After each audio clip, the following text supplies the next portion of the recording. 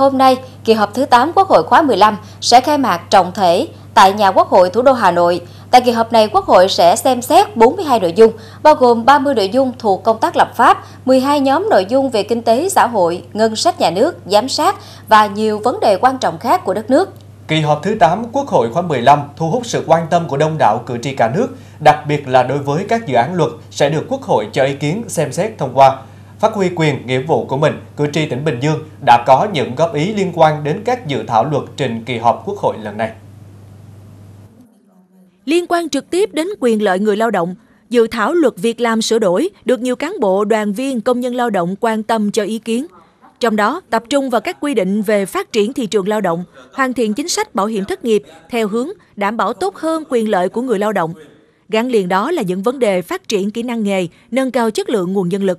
đề nghị nên có thêm quy định cụ thể để doanh nghiệp có trách nhiệm đồng hành trong việc đào tạo nguồn nhân lực có tay nghề, bằng cấp, chứng chỉ phục vụ hoạt động sản xuất. Thì à, tôi thấy rằng là trong quy định của dự thảo chưa có đề cập đến à, việc à, trách nhiệm của người sử dụng lao động khi chưa thực hiện đóng đúng trách nhiệm theo luật bảo hiểm thất nghiệp làm ảnh hưởng đến quyền lợi của người lao động thì xin đề xuất bổ sung vào dự thảo Ờ, là người sử dụng lao động sẽ phải bồi thường ờ, cái phần mà mà thiệt hại cho người lao động trong trường hợp mà người sử dụng lao động chưa thực hiện hoặc là thực hiện không đầy đủ cái trách nhiệm. Góp ý dự thảo luật bảo hiểm y tế sửa đổi, một trong những chính sách luật được quan tâm phản ánh nhiều nhất thời gian qua. Cử tri kiến nghị cần có sự thay đổi trong các quy định khám chữa bệnh bảo hiểm y tế hiện hành, nhất là đối với vấn đề mở rộng phạm vi thụ hưởng chính sách của người tham gia bảo hiểm y tế. Thay đổi quy định đăng ký khám bệnh chữa bệnh ban đầu, thông tuyến chuyển tuyến cũng như tạo điều kiện thuận lợi hơn trong các quy định về đấu thầu, mở rộng danh mục thuốc bảo hiểm y tế nhằm nâng cao chất lượng khám chữa bệnh bảo hiểm y tế, tạo sự công bằng trong chăm sóc sức khỏe nhân dân. Trong cái cứu nhân người ta đã tích hợp đầy đủ các đó, nhưng khi đi sang tỉnh khác thì người ta không được khám.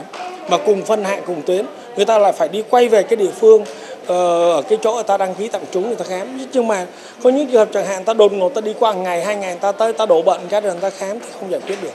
Và như vậy nó sẽ cái bất lợi và trong tương lai tôi nghĩ rằng là cái này phải thay đổi vì lý do là, là người ta có thẻ bảo hiểm thì người ta có căn cước công dân ta đi bất kỳ nơi nào ta phải được quyền khám cũng mong muốn làm sao cho luật ờ, bảo hiểm y tế sẽ đưa ra những cái gì những có những giải pháp làm sao để cho quyền lợi của người dân nói chung và người tham gia bảo hiểm nói riêng được thụ hưởng à, các chính sách cũng như là giống như là những những cái gì liên quan tới bảo hiểm mà à, trong luật bảo hiểm đưa ra. Bên cạnh đó, cử tri cũng quan tâm kiến nghị nhiều vấn đề liên quan đến các dự án luật khác. Mong muốn các chính sách luật sẽ được kiện toàn sát với thực tiễn cuộc sống khi được Quốc hội thông qua và có hiệu lực thi hành.